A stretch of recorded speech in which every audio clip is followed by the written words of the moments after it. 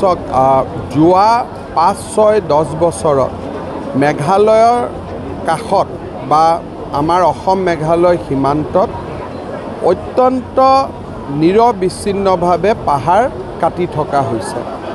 আপোনালোকে যদি এতিয়া ইউ এছ টিমত যায় দেখিব যে মেডিকেল কলেজ এখন বনোৱাৰ কাৰণে তেওঁলোকে ডাঙৰ পাহাৰ ভাঙি পূৰা সমান কৰি দিছে।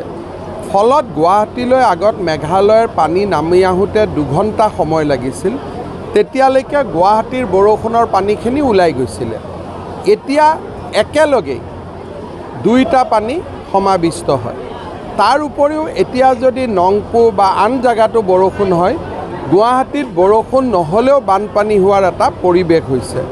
ই আমাৰ কাৰণে এটা জটিল প্ৰত্যাহ্বান ইয়াক কেনেকৈ সমাধান কৰিব পাৰি কেনেকৈ সমাধান কৰাৰ চেষ্টা কৰিব পাৰি তাৰ বিষয়ে আমি নতুনকৈ চিন্তা কৰিব লাগিব। কাৰণ গুৱাহাটীৰ যিবিলাক নলা নৰ্দমা তাক আমি গুৱাহাটীৰ পানীৰ কাৰণে বনাইছিলোঁ। নংপু বা আন ওপৰৰ পানীৰ কাৰণে আমি ইয়াক কেতিয়াও নিৰ্মাণ কৰা নাছিলোঁ। এই নতুন প্ৰত্যাহ্বানৰ আমি মুখামুখি হ'ব লাগিব।